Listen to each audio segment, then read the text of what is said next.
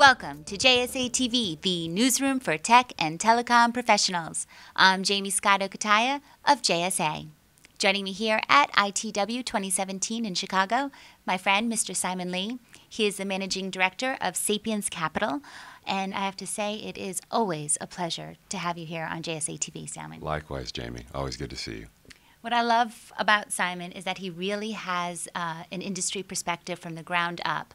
His uh, his wonderful work in the data center space, all the way up to um, the the network infrastructure level, um, on up through the applications. So let's start at the the bottom here, the data center level. Um, what do you see trends impacting?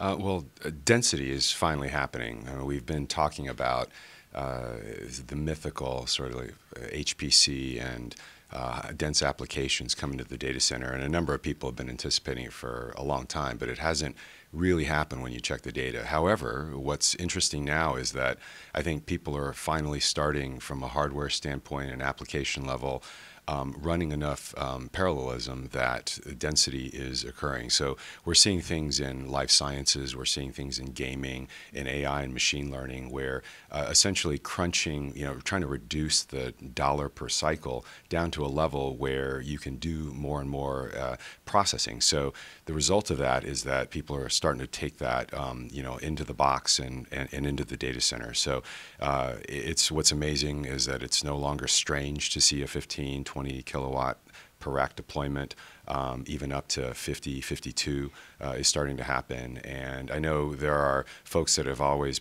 prognosticated that you'd see 100 kilowatts. We're not quite there yet. Perhaps there are some, but um, from a commercial deployment standpoint, uh, it is starting to happen. So there are some facilities like Centeris that are built for high density, and I'm sure over time additional um, providers are, are going to continue to do so because the customers are finally starting to demand it. 50 kilowatts. That's just insane, blowing the mind. And uh, and you know you can see 100 coming uh, quite soon uh, due to all of the uh, the new technologies and applications, which we'll get to in a minute, driving that. Um, but let's let's first move up one more level, mm-hmm. the network infrastructure level. What do you see happening there? Um, we've talked a bit about software defined, and I think that there's no question that uh, from an architecture level, that's starting to take root. Even at ITW, there have been some announcements about um, SD WAN partnerships. Um, there's been a Cisco acquisition recently of Viptela, uh, so you can you can see that the maturity is starting to occur. And even beyond the maturity, there are other companies that are taking it to an, an additional level, um, like a which applies uh, an artificial intelligence framework um, around an SD architecture.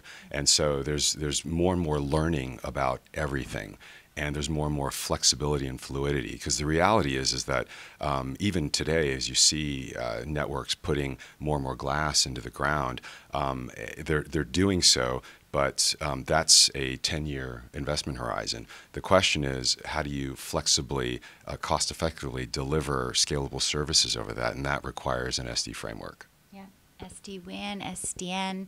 Uh, those are the, the themes for sure here at ITW and uh, and just in our in our community in general. Um, so moving up to um, to the end user, the application level, what's driving all this? Um, that's uh, it's just more compute power. You know, this uh, we, we've been talking about big data for a long time, and while I think it's still important, the phrase of that uh, is probably used a little bit less because we've shifted to AI and machine learning. And to a certain extent, it's kind of a, an evolution of the same uh, issue, which is we have all this data, what are we going to do with it? And you can't have a person right? Sit there and look at all of it and try and seek out patterns. You need machines to do it. And so, whether it's in finance, whether it's in life sciences, genomics research, um, some of the other things that you know we've talked about is applying uh, a, a machine learning framework to smart cities. You know, how do you control and learn about your environment? How do you develop a situational awareness about things that are happening around you by um, deploying more sensors and being able to read and interpret data so that it's actionable and improves people's lives. Those are the types of things that are starting to take over, which uh, lends itself to you know a different computational problem, which is why we're seeing um, you know demand for uh, infrastructure, for bandwidth, for compute all escalate. Yeah, so much data. How do we make it useful? uh, certainly a, a, great question for, for the year ahead uh, and and beyond. Uh, what do you what do you see yourself doing in the next year? Um, well, you know, infrastructure has always been a big part of what I do, and uh, that'll that'll certainly continue. But there's a, a renewed focus on the, the, types of applications that that are that are demanding this type of infrastructure. So uh, you, we hear about AI and, and machine learning a lot, and certainly all the big companies are, are well tuned to that. But there are um, there, there are new things happening where we are learning so much about um, our environment that I do believe there are going to be uh, quite a number of, uh, of, fresh new companies that are going to blossom um, that are going to change the way we think about the world. So yeah. that's that's some of the stuff that excites me. I really do feel like we are standing at the edge of something transformative for the human race.